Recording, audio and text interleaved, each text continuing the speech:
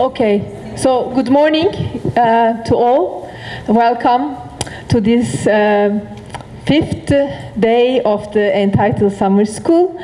And the, in the original plan, as you all know, we had also uh, Katherine Gibson, uh, but um, uh, she's sending her uh, sincere apologies. She has her mother hospitalized, her 94 years old mother hospitalized, and she has to take care of her. And so she also had to cancel her video conference. Uh, but luckily, we have here uh, two very uh, good colleagues of mine, Ceren Özselçuk and Nükhet Sirman from the Department of Sociology here at Boğaziçi University.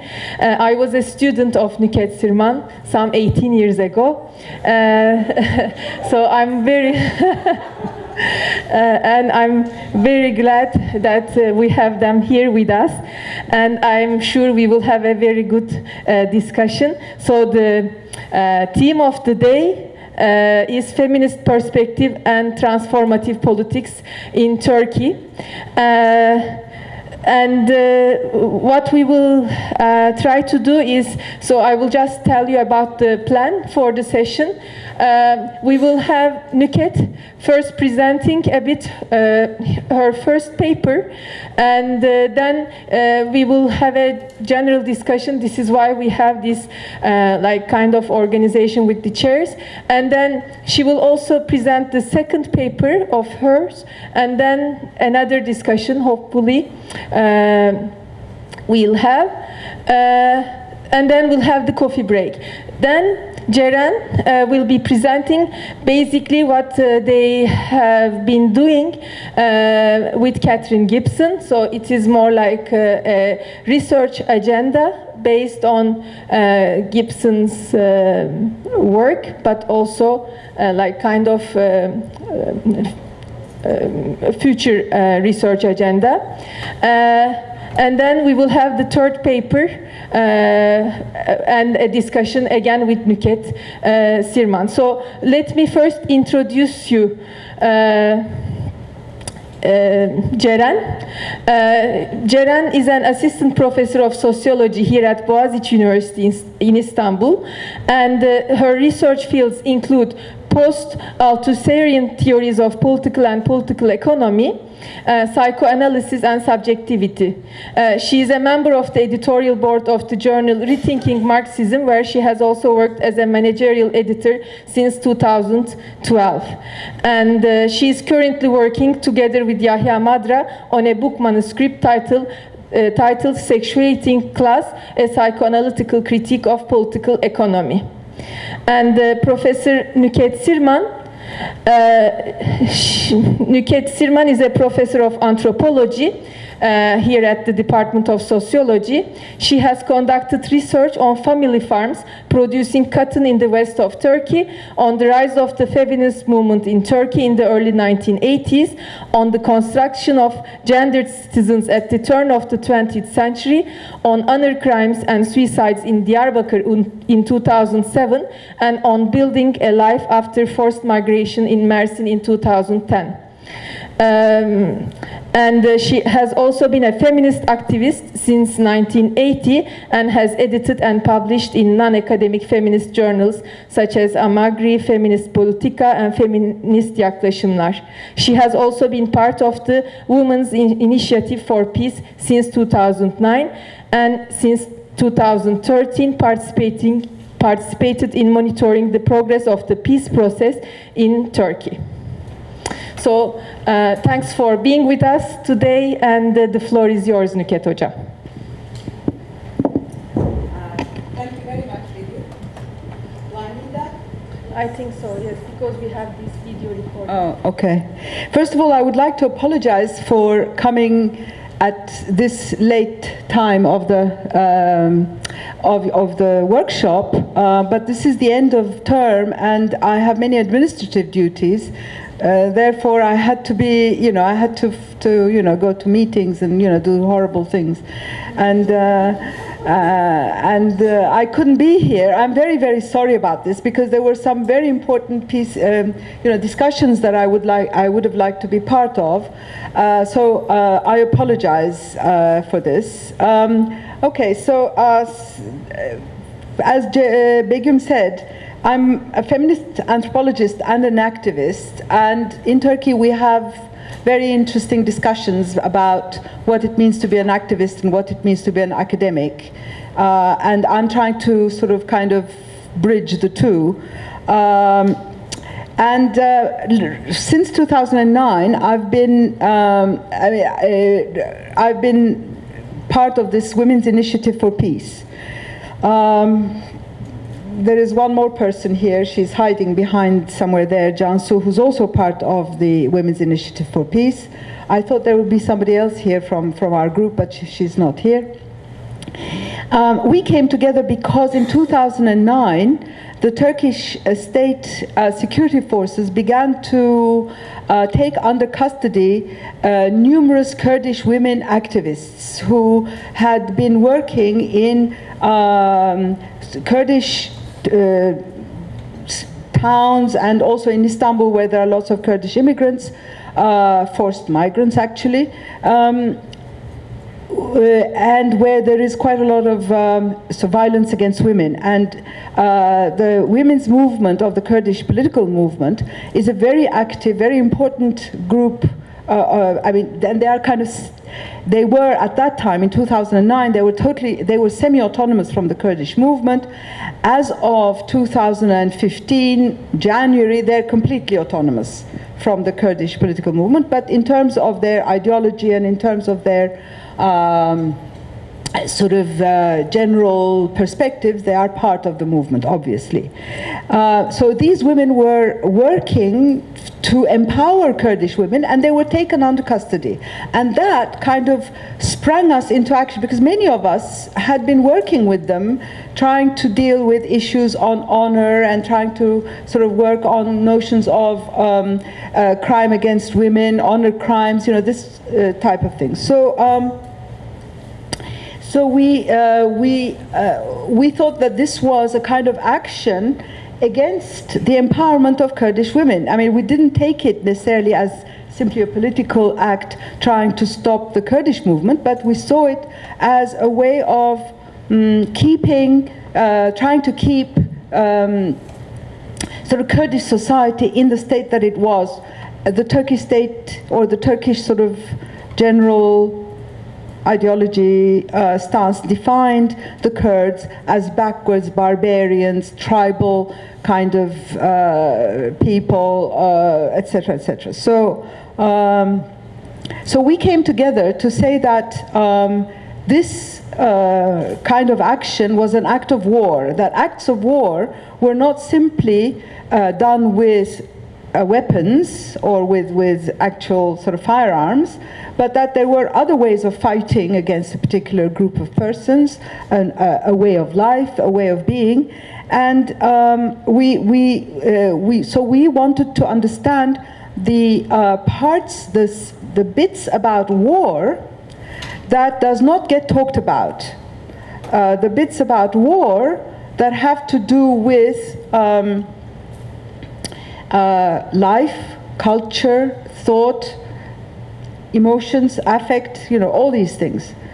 So um, we sent out a, a, a, kind of a call to women uh, from the general sort of opposition, leftist groups, and you know, sort of various opposition groups, and said uh, we have we are having a forum in Diyarbakir, which is like the uh, capital of the Kurdish regions, or this is how the Kurds think about it, and. Um, and many women came. In fact, we ended up with a list serve of 400 people. Um, and uh, these people came from very different political perspectives, and they had very, very different definitions of feminism. Um, some would prefer to talk about uh, a woman's movement rather than feminism, even. And one such group were the Kurdish women themselves. They too were against feminism and they wanted to um, talk about a women's movement. And this was the case until 2013. In 2013, uh, many important women from the, from the Kurdish movement said, we are feminists. This was the first time that I heard them say that they were feminists. Okay, so um, um, this is just to give you a kind of uh, idea about um, what, how we came together. Uh, but then we also uh, did a lot of uh, um, other kind of, um, just to, I, am trying to record myself because I usually forget what I say. Uh,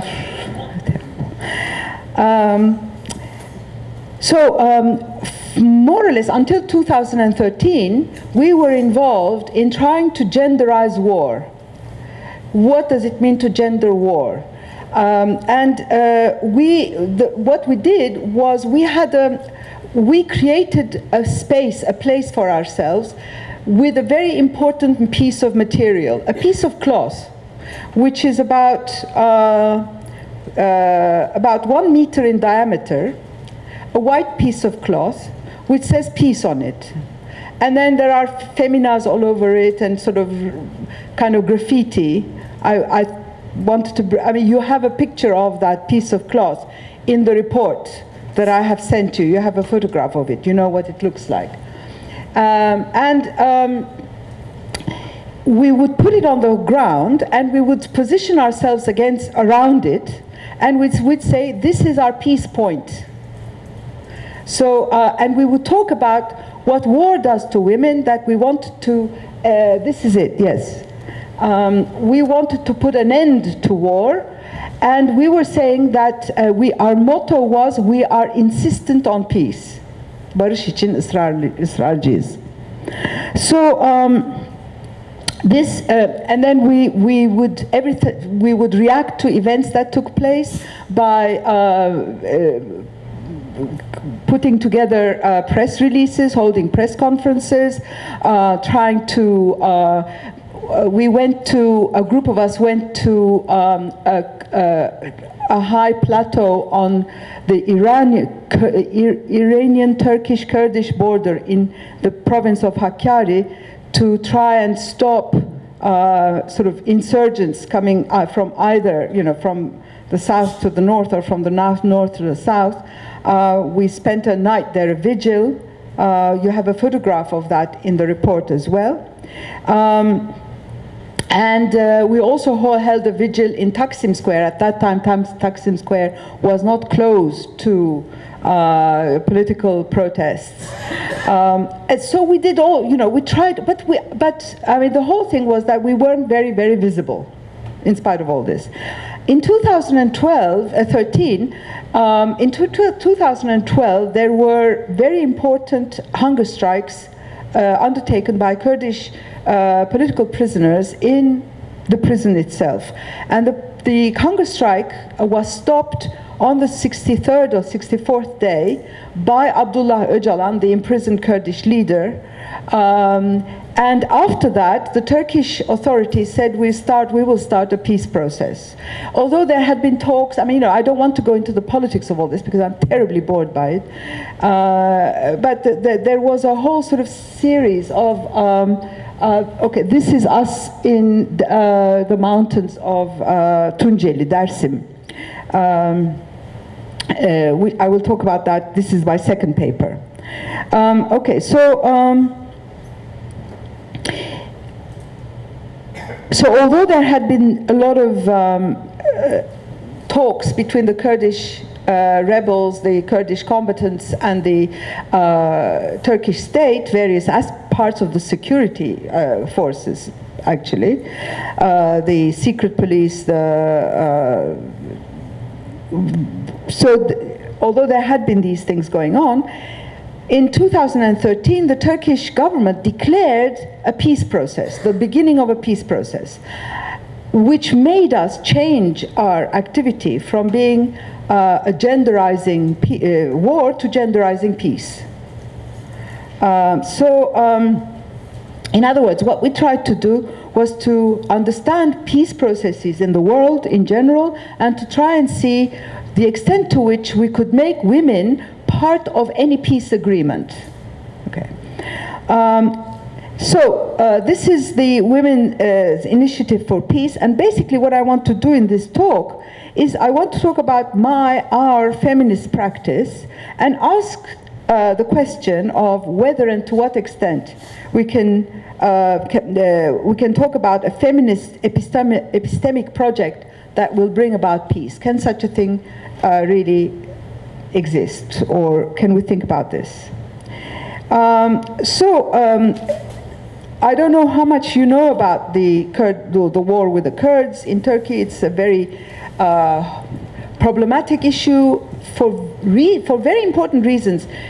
Uh, especially during the 90s. The 90s is a, is, a, is a kind of phrase in Turkish now. It's a symbol. It's a way of talking. It's a way of, of uh, defining a dirty war. When the Turkish uh, security forces evacuated more than 5,000 villages, they basically went in, said, you, you go. Don't take anything with you, just go. And these people, you know, people had to walk out of their lives, um, you know, just like that, at, you know, a point, the point of a gun.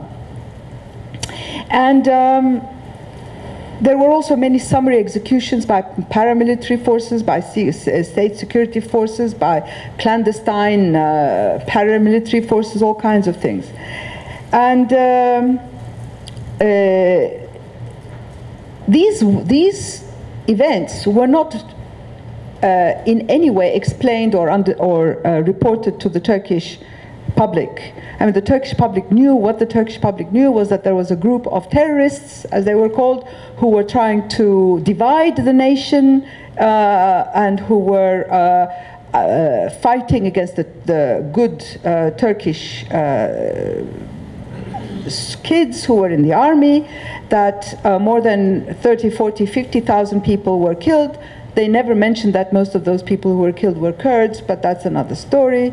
Uh, and um, uh, that uh, we, we, were dealing with uh, a group of, of uh, baby killers. I mean, this is how they called the, the, the, the leader of the Kurdish political movement. Not that they didn't do atrocities. I'm not saying that they weren't involved in atrocities at all. I mean, that's another question.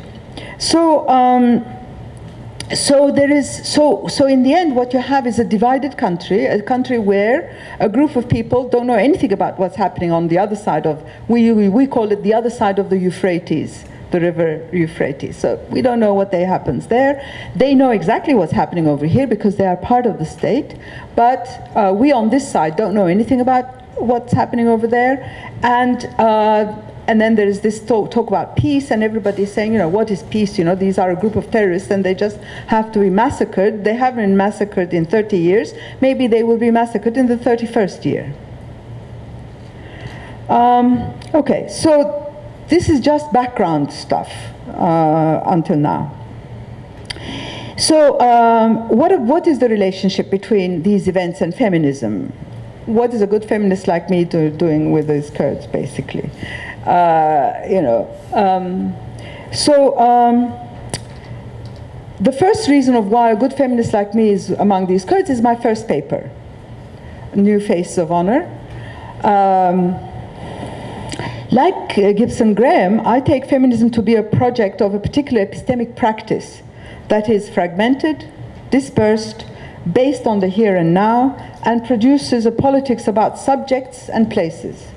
Subjects of feminism, subjects of Kurdish feminism, to do away with Kurdish feminism, to talk about feminism in general. You know, these are all sort of various mm, developments that uh, we can talk about.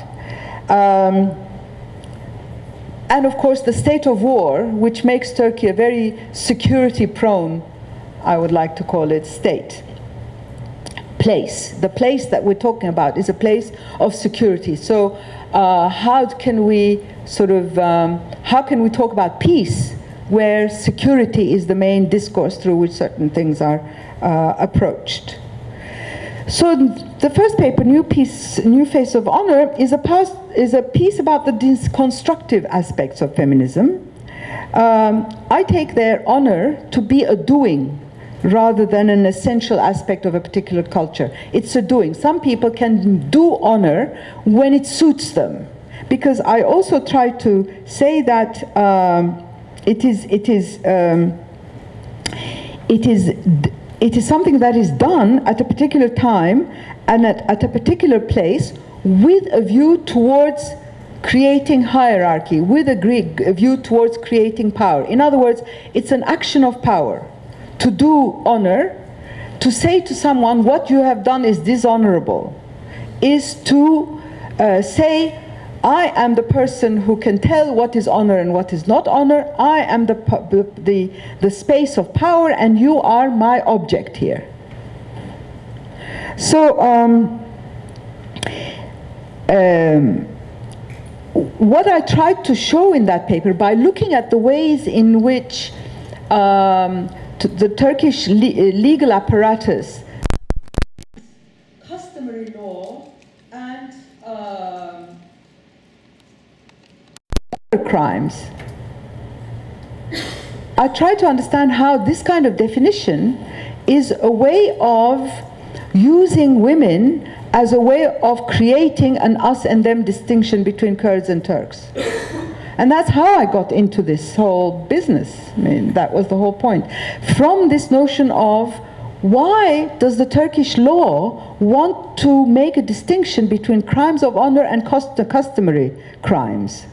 When in Sweden, for example, or in Britain, honor crimes was something that, you know, was a blanket term. Why did the, the Turkish state want to create such a distinction?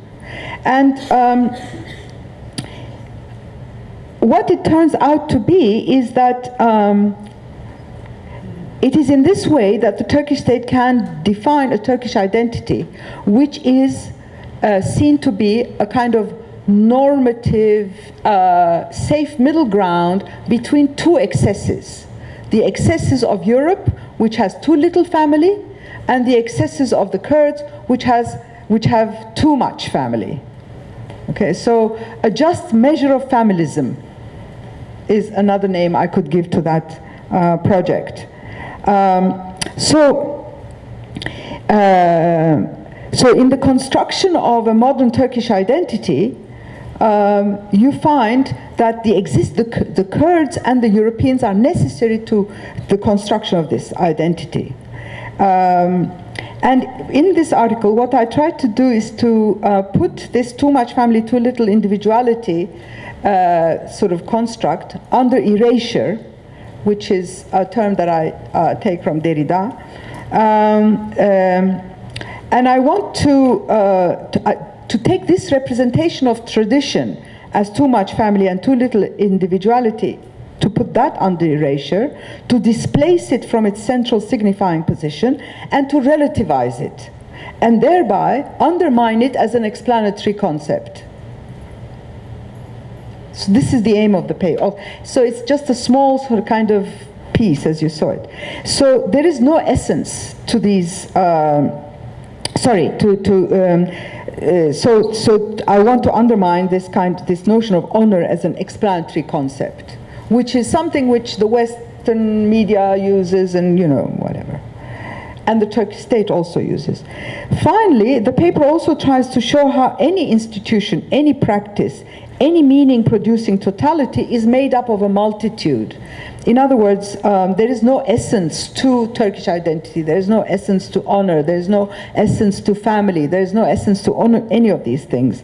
Um, the law of kinship, which is honor, which you can take honor to be, is incorporated into the law of the republic by talking about, um, for example, unjust provocation using the concept of unjust provocation, men who perpetrate violence against women are given very light sentences. And feminists in Turkey have been fighting against this for a long time now. Um, and uh, thus, what, what is happening is that the notion of honor, which is something that comes from the kinship, uh, from what I call the law of kinship, okay, uh, the concept of honor is reincorporated, redefined uh, to fit a kind of modernist individualist frame. And to, uh, to uh, give it a particular uh, place in the laws of the modern Turkish state so that men are, are under, they are people who are understood, they are, they are, you know, they are um, excused, ultimately, excused for uh, being violent towards women. And all of this is used to produce a singular national, modern national identity. Whereas what I'm trying to show is how all this is a kind of multitude of, of, of different uh, traditions, different discourses, different laws, etc., etc. So, uh, like life itself, in other words, nothing is pure.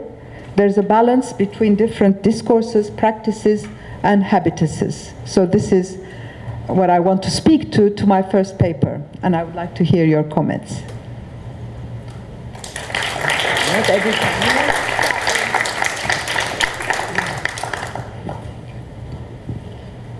So we have. Hola. We have now like uh, 50, 20 minutes till the next presentation of the paper. So, uh, yes, questions.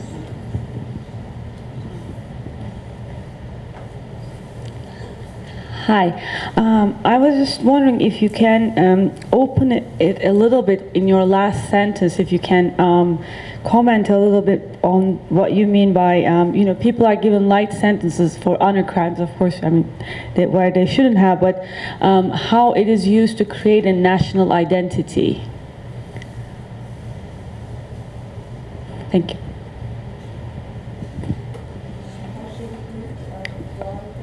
Maybe we collect three. Yes, Felipe, you want? Hi, uh, thanks a lot for the exposition. Very interesting, the feminist movement, not only the women's movement, uh, this, the emergence of the identity of the movement. I'd like to, to, to ask you a bit, of, I'm very interested in, in, in the problem of these other violences, especially in the situation of war. If you could explain more this, what are these other violences? How do you concept the other violences? The not, not, eh, eh, the other violence, not, not only killing, you know, but but beyond that, this epistemic violence. I don't know how how you work with this other uh, object, and and then. Uh, looking to the future, what are the possible reparations that are imagined that, let's say, towards a common new way to live together? This might be a, long question. You might maybe want to explain it later on, but I was interested to hear more about why uh, Kurdish uh, uh, women in the movement first wanted to distance themselves from the label of feminism and offered the name women, and then uh, shifted the position and kind of reclaimed feminism, like the history of that and the shifts of that.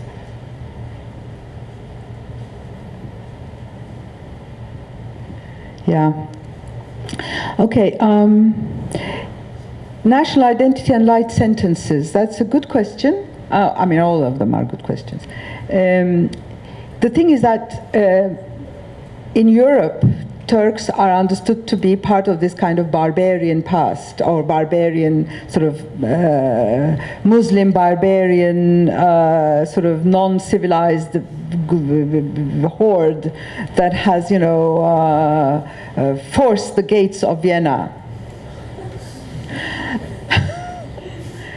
now, um, so what the, the, the, response to this is, um, and this is what the paper tries to explain, is if we have honor crimes in Turkey, that is not because we are we have too much family that we don't have enough individuality, but because like you, like you have your crimes of passion, we too can be um, motivated by a kind of loss of reason at a small moment when we see that our women, and here you see the past, and our, the notion of our women is not peculiar to Turkey. I mean, you have crimes of passion all over. I mean, crimes of passion is something which is, for example, recognized in English law, as far as I know. And um, and um, so when a man perpetrates violence against a woman, it's not because he is a barbarian, but because he has, like any European man, lost his reason. And that is part of modern Turkish identity. We are modern.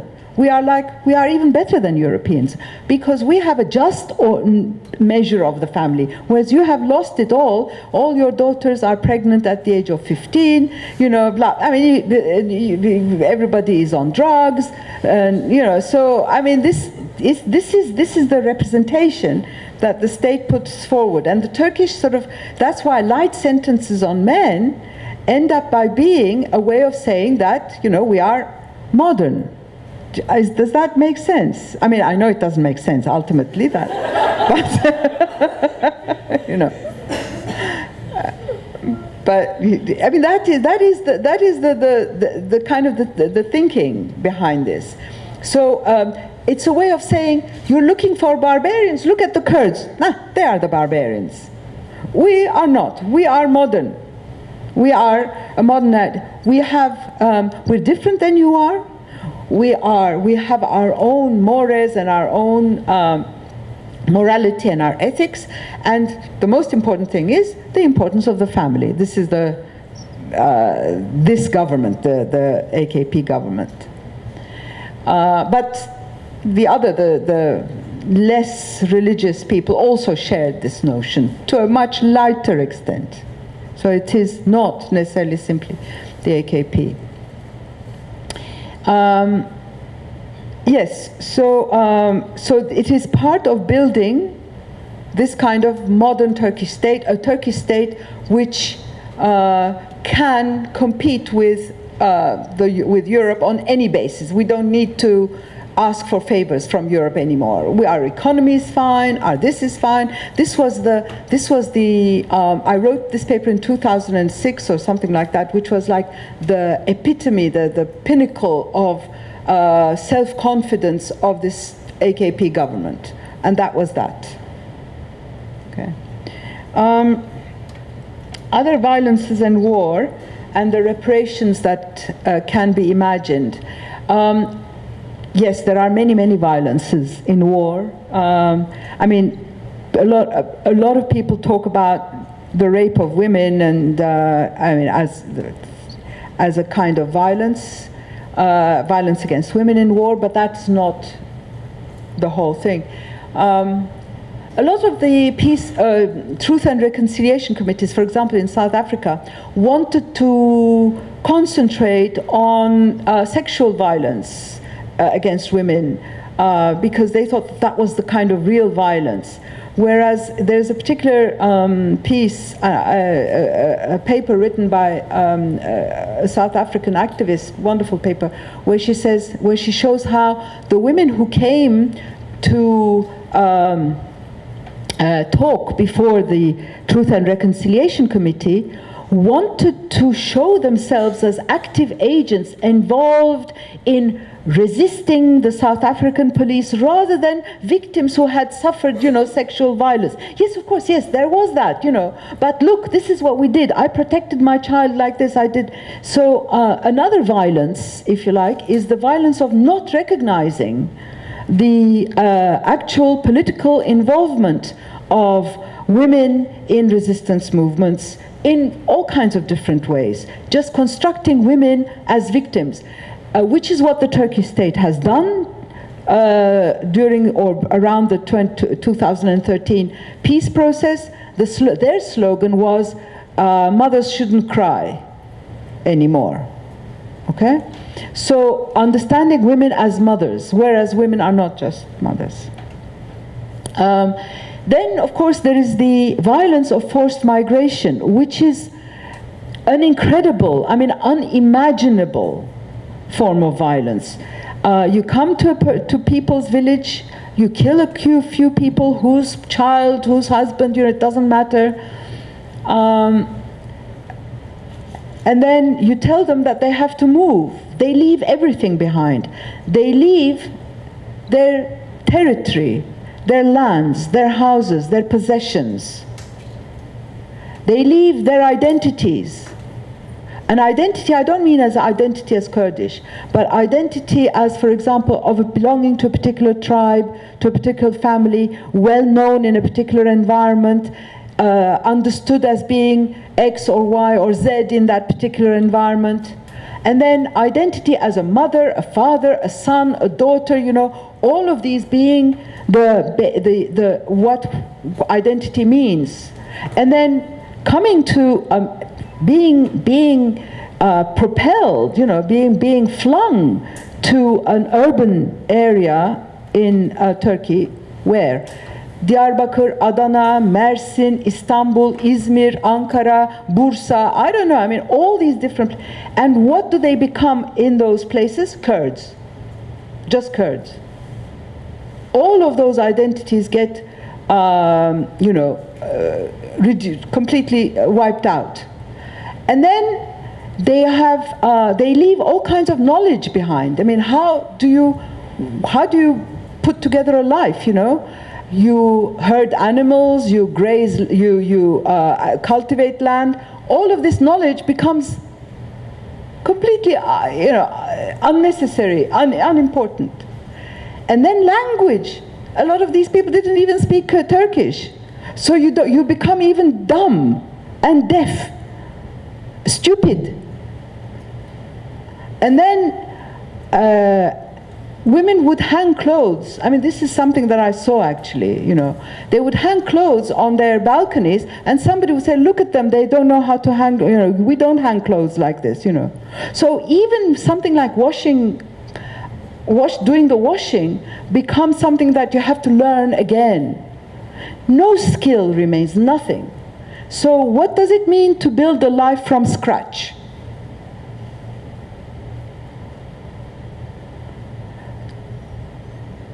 this is, this is such a huge violence that I don't even know how to talk about it.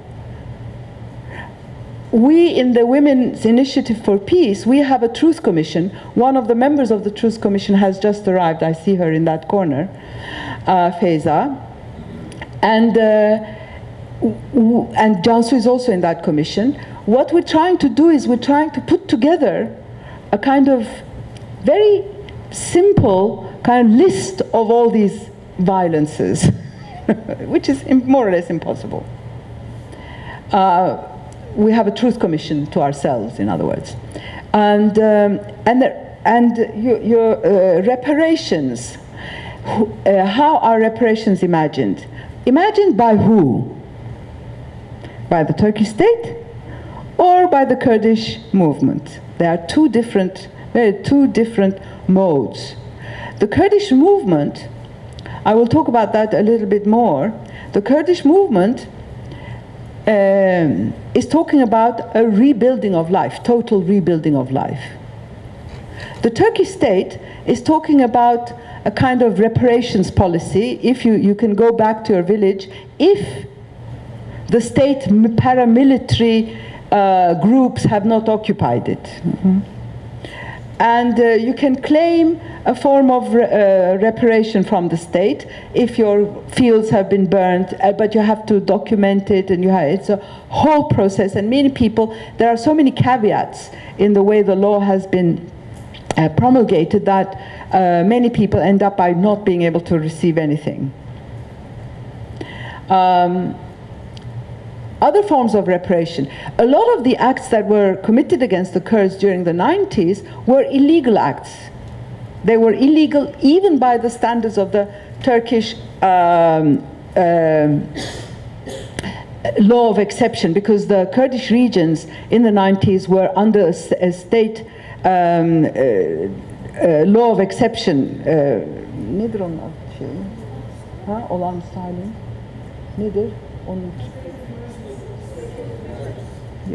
It's not, it's, it's, there's another word for it, but I forgot, whatever.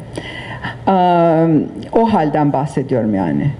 Um, so even though the laws were, were much more stringent under these, these emergency, the state, the state of emergency, but um, even under by the, the, these laws, these acts were illegal.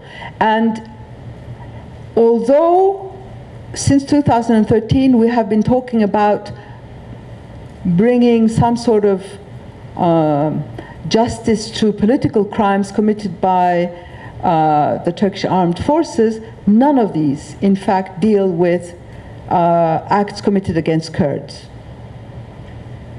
There are two very important cases that are going on now.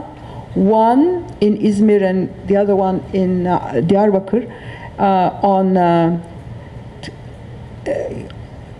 on um, uh, the killing of Kurds without any reason in two different parts of the Kurdish regions, and um, uh, both of them are going very slowly, and nobody's expecting anything interesting that to, to come out of them. Yeah. One is Lice, the other one is uh, Shirnak, Cizre, for those of you who know. Um, so reparations are imagined very differently according to where you stand and very difficult. Um, okay, why Kurdish women distance themselves from feminism and then reclaim it? They distance themselves from feminism because feminists in Turkey, I mean, how did the Kurdish women understand feminism? By looking at what we were doing, Turkish feminists are, were doing. I don't like to call us Turkish feminists, but um, if you call one group Kurdish feminists, then the other one becomes automatically Kurdish feminists. Okay, I will use east of the Euphrates, west of. This is the way we go around this problem uh, among ourselves. So I will sort of use the same terminology here. Uh, so uh, west of the Euphrates, we are only women. We we don't we um, we don't work with men. Uh, we have had, some of us have had very difficult experiences working with men in leftist groups, so we have separated ourselves from them. We are totally autonomous from men. We have been around uh, on this side of the Euphrates since more or less the 1980s. Um, I personally have been involved with feminism in Turkey more or less since 1980. Um, and um, we are small groups. We don't take power as it's kind of as a kind of uh, totality over there that we need to confront. We work in small groups. We did a lot of um, consciousness raising uh, at the beginning. Now it's much less. Um, so we have a certain way of doing things. Okay, the Kurdish women east of the Euphrates um, women work with men. I mean, there are women guerrillas as much as there are men guerrillas. Women who fight, you know, so they don't, do not want to separate themselves from men at all. They share very much the same ideology. They take, at least until recently, and I will talk about that later, they take on the Turkish state. I mean, they, they have a power project. They had a power project, which was the construction of an independent Kurdish state. Um, this project was kind of revised after 1999, where, even before, uh, but in 1999, the leader of the Kurdish uh, movement, uh, Öcalan, was apprehended in Kenya and put taken under custody. So, uh, so they they um, so they distance themselves from feminism, and they say we are. They, I don't know if that's enough. Uh, okay, when did they reclaim it? They reclaimed it by criticizing us that they were the real feminists and not we. And they did this through this concept of genealogy, which I talk in my third paper. See, so it's, a, it's an interesting way of reclaiming feminism. Uh, it's a way of, um, of creating another feminism.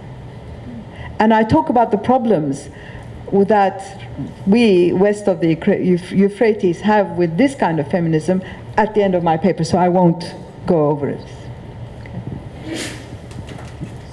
If, if you agree, we can go on with the second paper, and maybe you know, the questions you have now can sum up to the, to the end. It's okay for you?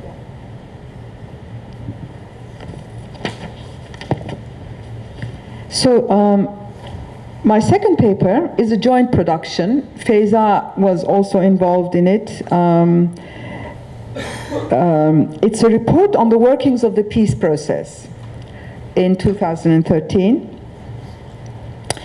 Uh, so uh, by looking at that, uh, so this is this is feminism in action.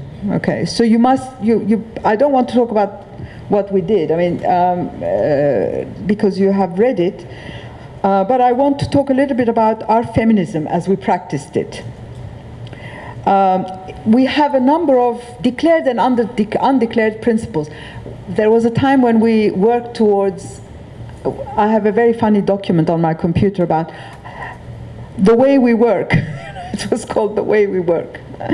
Um, so we tried to, uh, to sort of verbalize these kind of ethical principles that we worked with, but uh, there's always more to them and less to them. So it's very difficult to actually um, verbalize these uh, principles, and I will try to do this now. Uh, but it won't be, you know, it will also be very insufficient or very, very problematic. But we want to have full participation of everybody in all the projects. In all, pro all projects that we do uh, have to be, uh, have to be involve everybody. Uh, we have to have equal access to all information and we have to build an ethical approach to resources. So for example, um, we uh, monetary resources. We do not go to NGOs for funding, either Turkish or abroad. Um, not because we are afraid of being project driven, I mean, uh, but because uh, we are working alongside the law, and I will come back to this in my third paper, so uh, hold on to this. Um, um, we're trying to get everyone's consent when we do something. And even if we don't get uh, a consent, we want to get everyone's go ahead, which is, I don't know if other feminist groups also have this. It's yol vermek in Turkish. Um, but um, so some people will say, well, we don't agree, I don't agree with this, but okay, you can go ahead and do it. Okay, so a kind of go ahead, to give a go ahead before embarking on any action, such as writing press releases, going on fact finding missions, whatever we, organizing conferences, whatever we do. Uh, we do a lot of communal pooling of goal oriented expenditures, such as travel. For example, when we go to monitor a particular um, uh, clash or a particular event, uh, for when uh, we hear, for example, that there's a clash between the Turkish armed forces and either usually the Kurdish civilian population, but that's also a very difficult thing to talk about. You know, when do the Kurds stop being fighters and when do they become civilians? I mean, that you know, a guerrilla war is a guerrilla war, after all. Um, so when we uh, so when we hear about these such kind of clashes, what we want to do, we, we want to go on situ and we want to understand what's taking place there before uh, because the Turkish press will immediately jump in and produce ideological reports or reports that you know are basically you know uh, uh, distorted. Um, so, um, so we, we have, or when we organize a conference, or when we organize a kind of uh, uh, meal, you know. So all of these are done through pooling of resources. Um, but again, I mean, we have a lot of problems there because even when we pool resources, I mean, take to, to take a flight from here to Diyarbakir is not very cheap. Um, and we do it usually at the last moment, which means that airfares are very, very expensive at the last moment. And, you know, uh, you pool resources and then, you know, we have to decide who is coming, you know. And, uh, and then we have problems because some people who pay the money want to go, you know, problems, problems, problems. But at least there is this kind of uh, attempt. Um, and then uh, the way in which we define our goals uh, to act in the here and now. Um, violence against women, the notions of uh,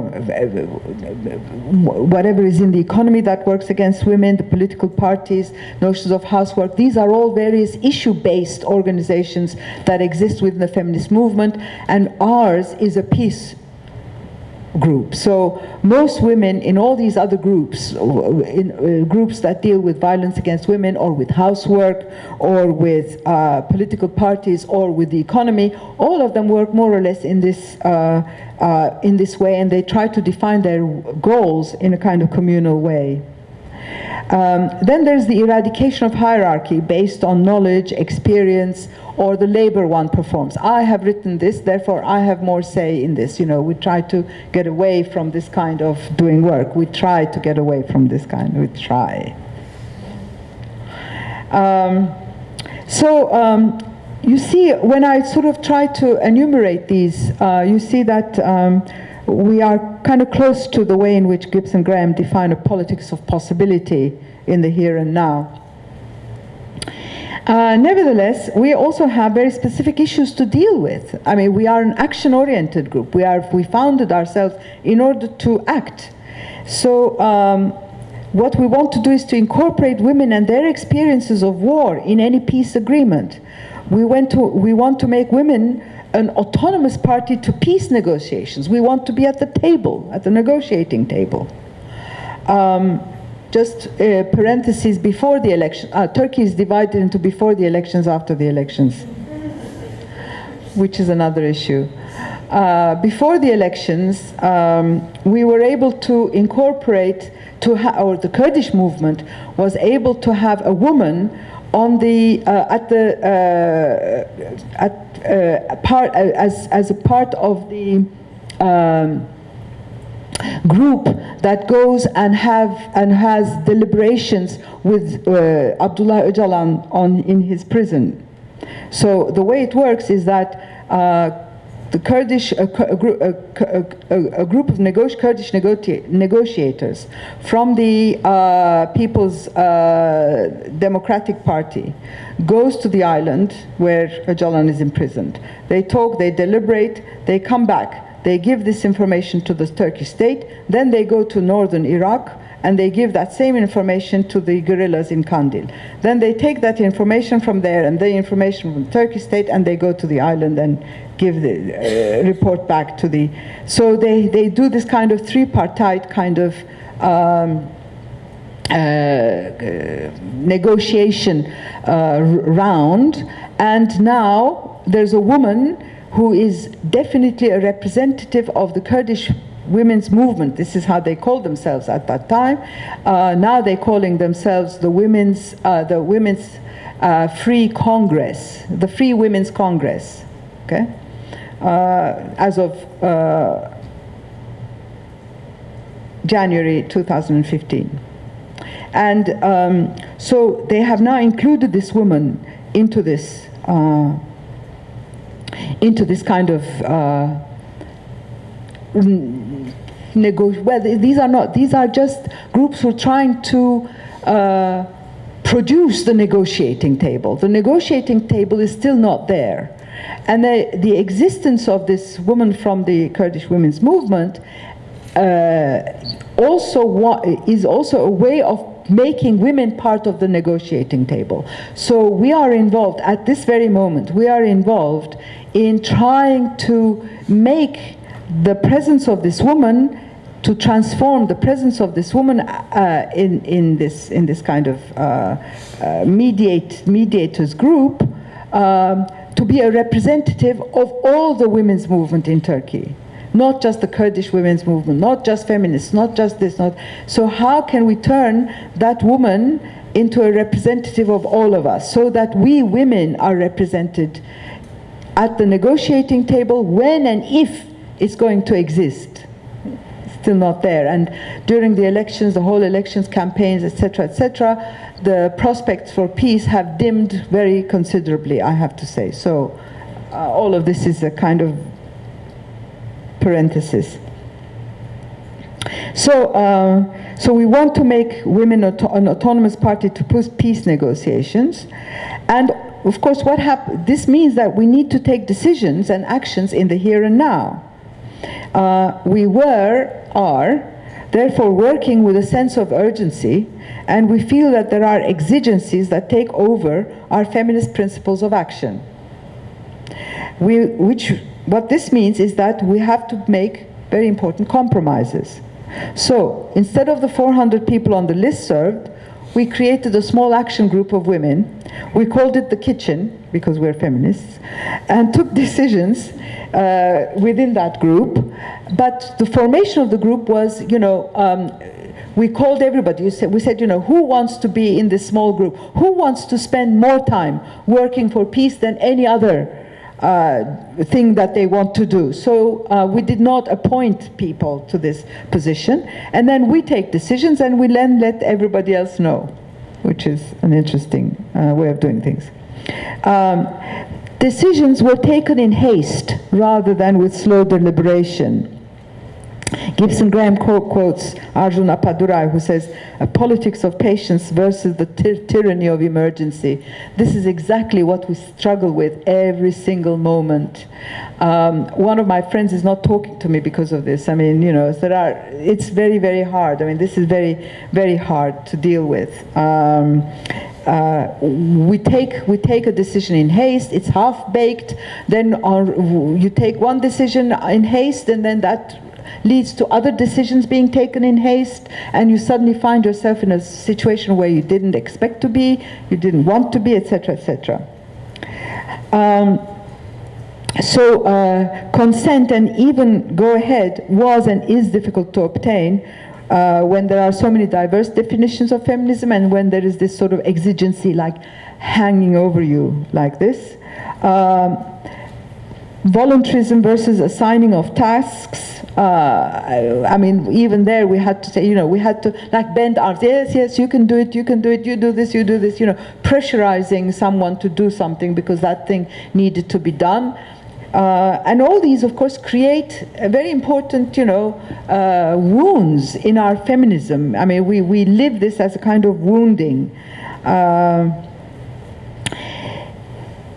Uh, a very serious, another very serious problem, the language of feminism versus the language of the bureaucracy. Our report, which you have, is very much part of this problem because we um, tried to, uh, we, we were addressing in that report uh, the parliament, we were addressing the women in the um, uh, Kurdish fighting forces, the guerrilla women. We were we want to uh, we want NGOs to read it. We want uh, people for, who are outside Turkey to read it so that they can understand what's going on. So uh, we thought that we had to have a language which was a language of authority, which is not the language of feminism. The language of feminism is a language of uh, feelings. It's a language which is much more tentative. It's a language which does not assert itself in this way. Um, or at least this is the way some of us define the language of feminism. Let's put it that way. I did not agree, like you. Um, uh, uh, so the report, in that sense, if you look at the language of the report, it's a compromise between, you know, those different languages. Um, and it's uh, it's distributed. So please, you know, I sent that report mm, by you know it intentionally it as much as possible wherever you go, wherever you are, and let everybody read it. You know, it's. Um, it's it's important for, for us to see this, to, to for this to, to go to um, as uh, wide an audience as possible. Uh, and then, of course, there's the academic versus the activist language, which had to be kept in balance. Um, for example, we, we did a, we had um, um, we did a sit-in in Tünel, in sort of it's the end of it's the end of the Istiklal Road in Taksim, uh, where uh, at simultaneously we held vigils for Gaza, for Rojava, and for um, um, Shengal, Sinjar, the Yazidi people who were massacred by Daesh, by ISIL. Okay, so we held a vigil for all these three situations where women were involved in war, and this vigil was done simultaneously in 20 provinces in Turkey, and we were able to link via Skype to all of them and have these conversations. You are here, we are here, you know. So it was a way of bringing up or a way of, of making visible uh, the plight of women and not different and sort of uh, one of the things was that in Turkey um, the mid in the west of the Euphrates the Middle East is far away. In the east of the Euphrates the Middle East is there. It is the Middle East. So uh, what we were trying to do is to bring the Middle East to the west of the Euphrates as well and um, we had many disagreements, you know. I mean, this is an academic thing, you know. This is people like me talking. And then activists were saying, you know, why are we, why are we doing this? So there were, whenever you, we, we made a decision about doing something, we always had these distinctions with these kind of arguments. But we never did anything without arguing, without, you know, whatever I haste. We never did something which everybody didn't agree upon. Everybody in the kitchen didn't agree upon at any rate. I mean, I have to say this. I don't know Feyza will maybe say something about this. So, um, although we said we, although, for example, we said we were autonomous from the state, that we weren't going to demand anything from the state, that we would ad address uh, the people, um, our efforts to have women incorporated in the peace process, the report we wrote, necessarily addresses positions of power. So, but even there, we try to address only women, the women, whether they are the women of the parliament or whether they are women of uh, the guerrillas. So Feyza was in the uh, in one of the committees that went to talk to women in the parliament. I was in one of the um, uh, in the group that went to talk to the women uh, guerrillas. So uh, even there, we tried to sort of talk to the women of the uh, fighting parties.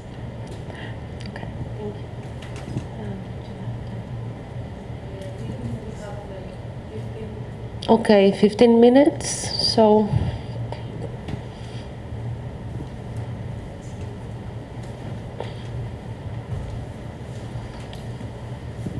Thank you very much for uh, extremely interesting and engaging discussion.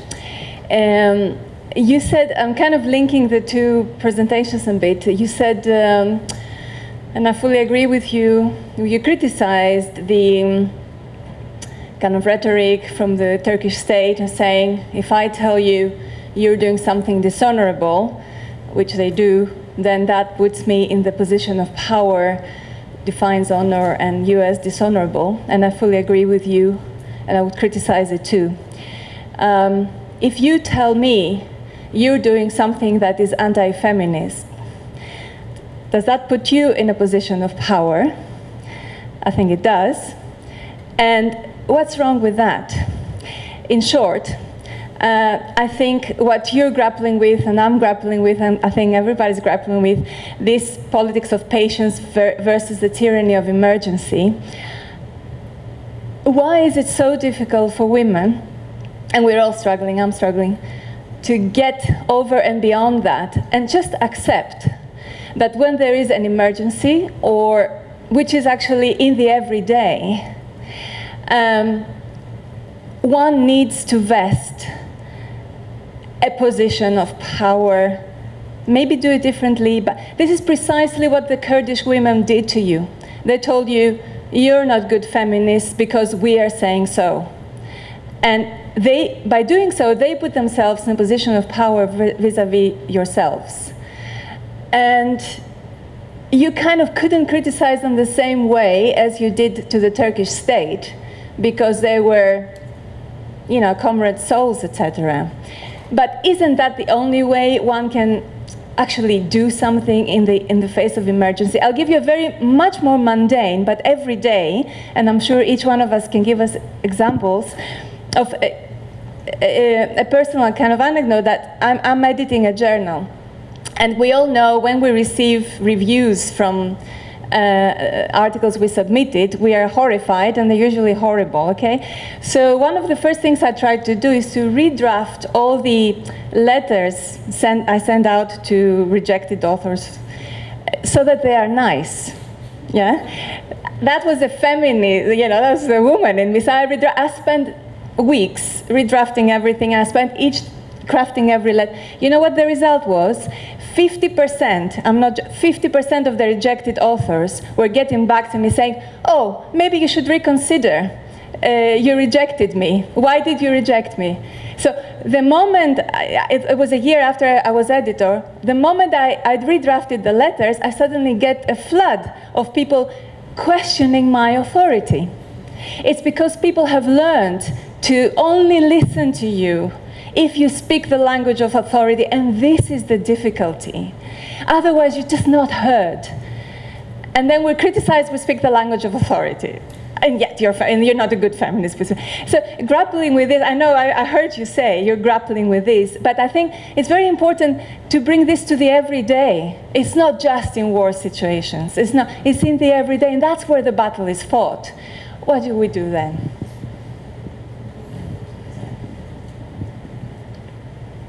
Anyone else?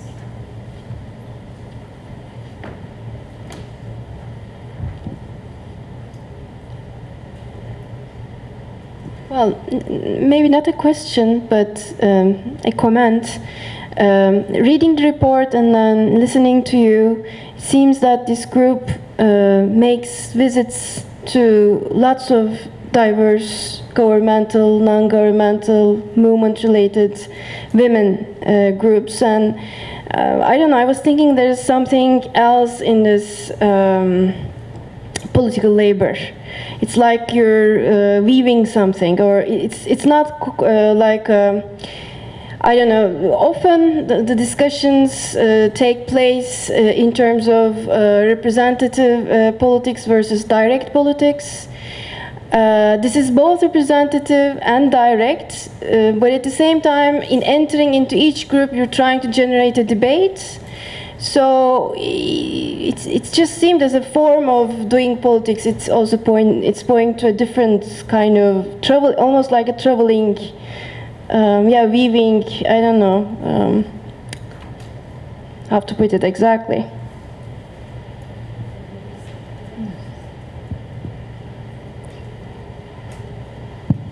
Uh, just one um, simple question, but uh, it, it had um, a great repercussion. I've asked that to the Kurdish leader that was here. And so it's about the image of women carrying weapons. Because we know that that's a form of, of, of how the domination, male domination, like, was produced in different society, like having access of, uh, to, to, to, to weapons how, how it was perceived by the, the feminist movement, these fantastic images.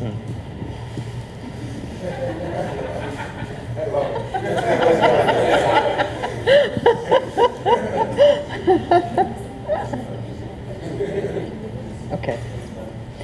Um, okay, I'll start. Thank you very much for that comment. I mean, it's a wonderful comment. Um, that was exactly my position. I mean, as you can imagine. um, and you see, being an activist and an ac academic at the same time makes made made me uh, come out very strongly on the side of a language of power in this report. And um, one of our friends, one of the one of the people who were very much influential in writing this report, who is also a professor in the sociology department. We are a weird group of people in the sociology department. Um, Nazan Üstündağ, for those who know her. She had done a fact-finding mission in Argentina uh, to see how the uh, Argentinian peace movements had uh, uh, proceeded to come up with the uh, truth about uh, the disappeared and all, uh, you know, what was happening in Argentina. And one of the points that she was making very strongly in her report was how important it was to look scientific that you know that you if you had an excel file or if you had you know if you had numbers then that would be uh, serious, considered to be serious and to be considered to be important and scientific. And that's exactly what we tried to replicate in that, because we were saying, you know, this is, we have to be able to speak from science so that we could, we are able to be heard. And we have to, not only that, but this is going to, towards something which I will say in the third section, in the third piece that I sent you, but um, that position is the only position which will keep us, that will provide us a space to speak from. Otherwise, we shall be hammered by the state or by the Kurdish movement. It doesn't, you know, both, uh, which, which we have been, you know, we have been faced with that for, uh, for very, for very long time. Yes, yes. I mean, for and and it is an every every day in the sense that you see, yes, it is about war, but our position is about is an everyday position, in the sense that we take a position against what's happening in the here and now. In other words, the Turkish state is uh, saying do, doing one thing. Uh, for example, let me let, give me let, let me give you an example. Uh, we heard that uh, the Turkish state was allowing the Daesh, uh, ISIS people to move across the Turkish border freely, and this was just at a time when a religious holiday was coming around, and it was a time when ISIS uh, really came upon uh, Kobane, and they said we are going to have our uh, religious uh, festival in Kobane. This was uh, in early October 2014. And what we did was we put together three buses, three buses full of women, uh, saying, you know, this is not a holiday.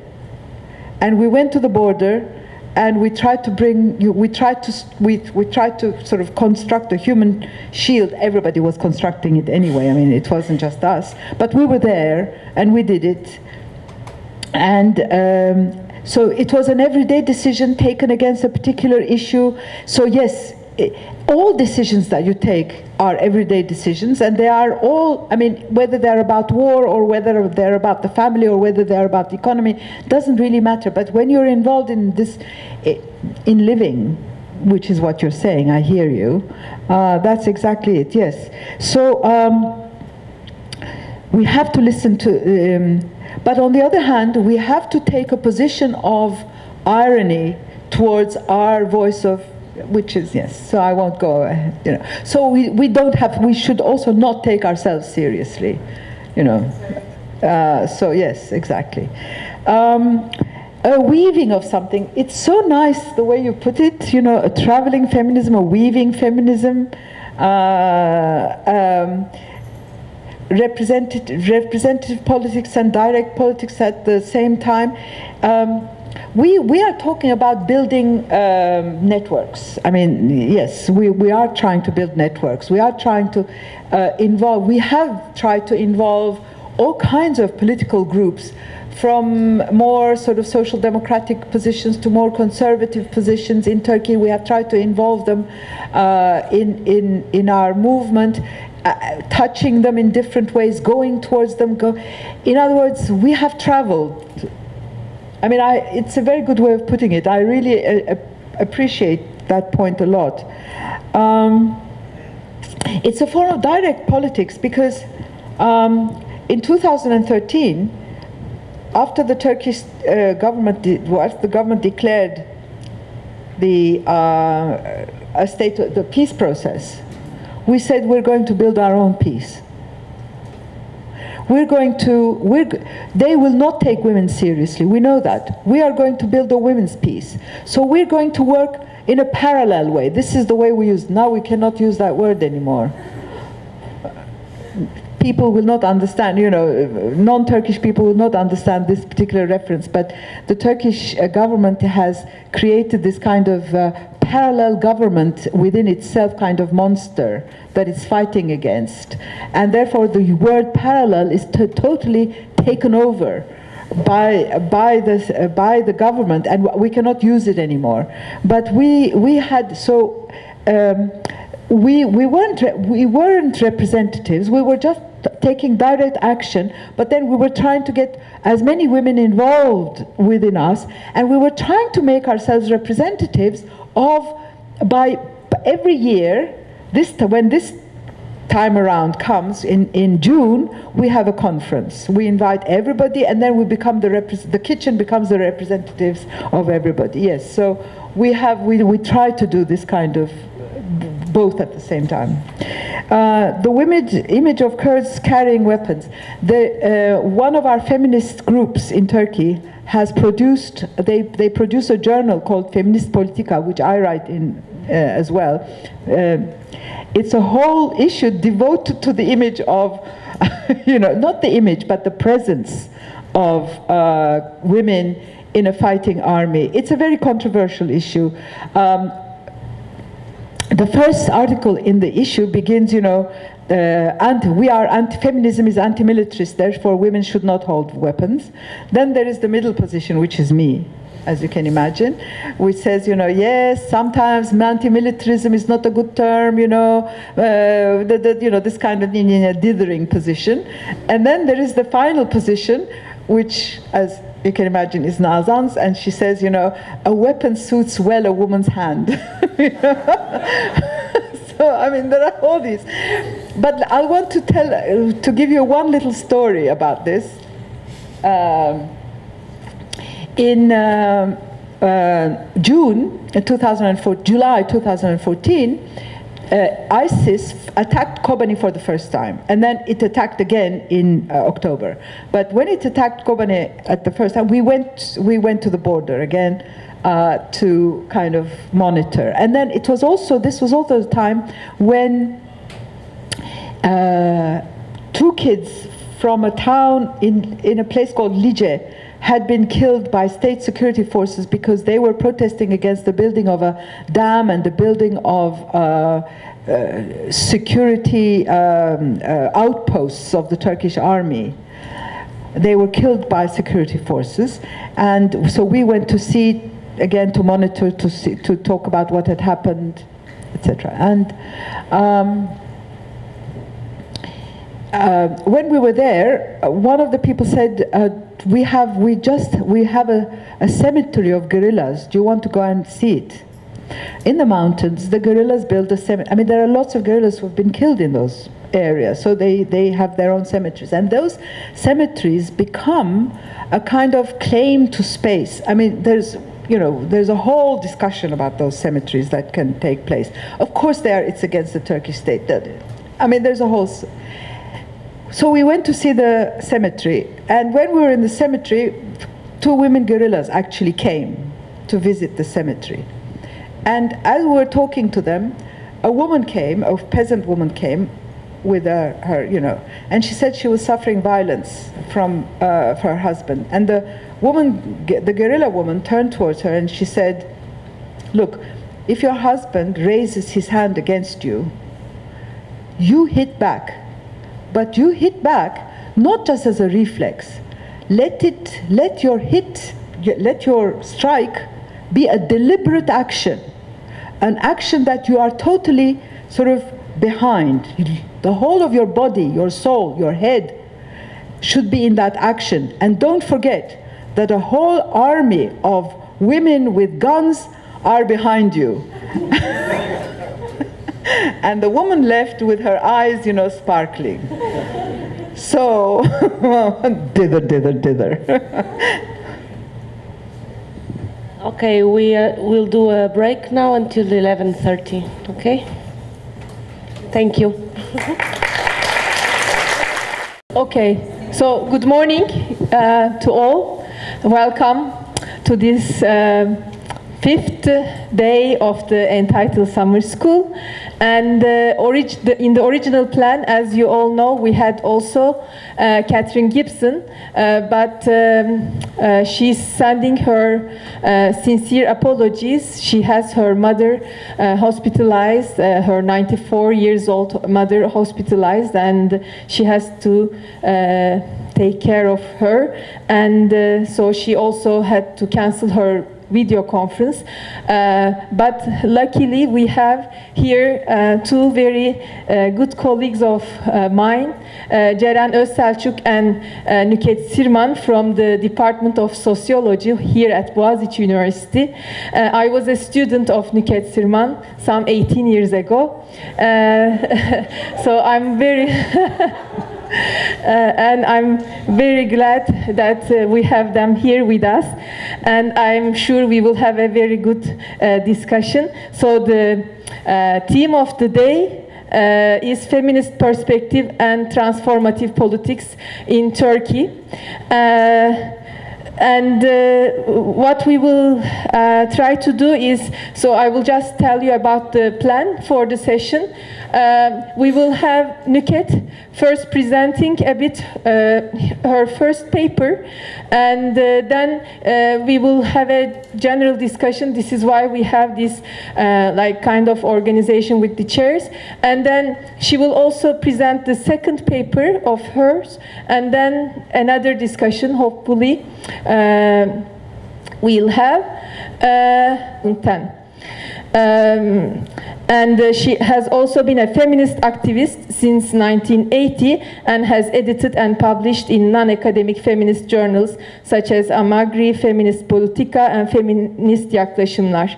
She has also been part of the Women's In- Initiative for Peace since 2009 and since 2013 participating participated in monitoring the progress of the peace process in Turkey. So uh, thanks for being with us today, and uh, the floor is yours, Nükhet Hoca. Thank you very much, Lily. Do I need that?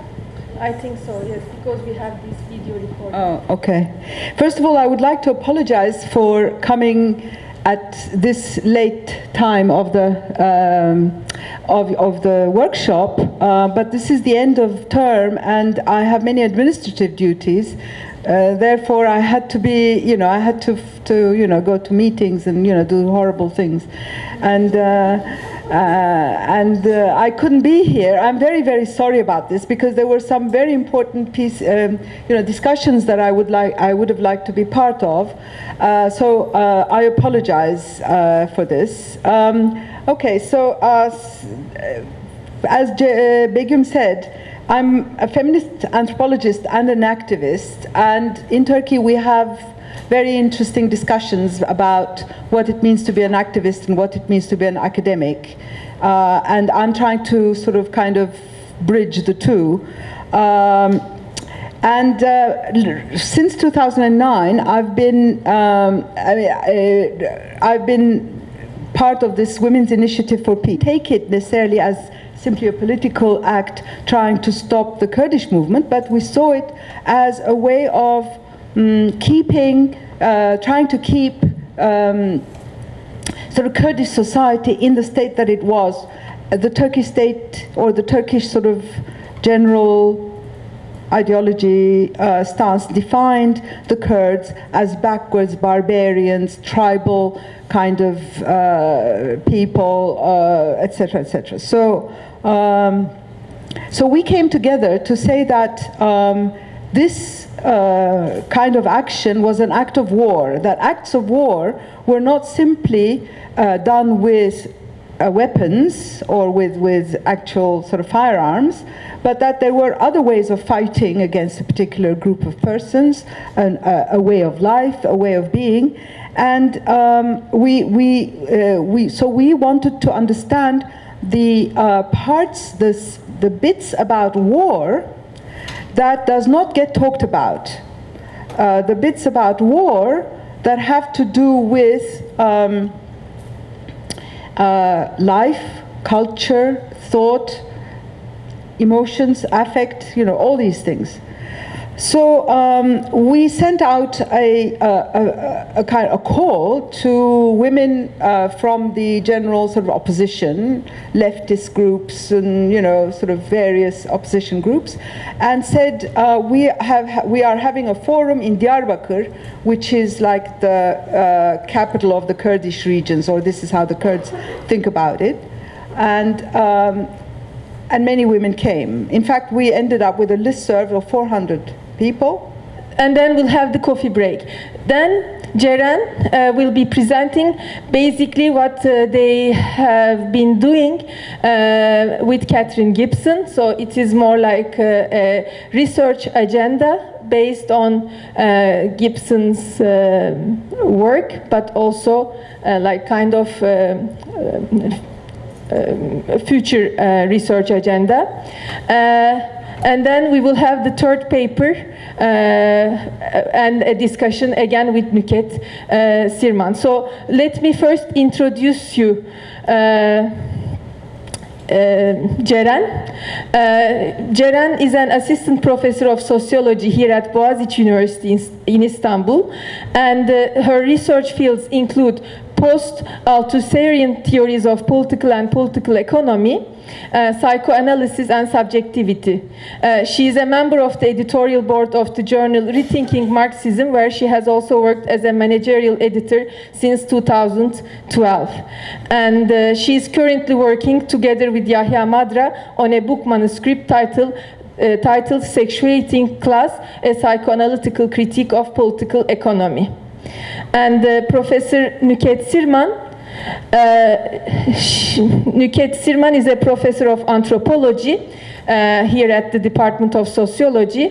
She has conducted research on family farms producing cotton in the west of Turkey, on the rise of the feminist movement in Turkey in the early 1980s, on the construction of gendered citizens at the turn of the 20th century, on honor crimes and suicides in Diyarbakir in 2007, and on building a life after forced migration in Mersin in 2000.